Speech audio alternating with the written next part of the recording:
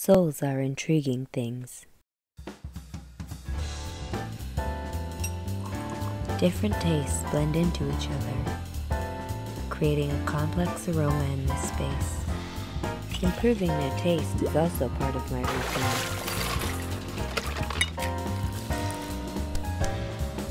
Let's see. Who needs my help today?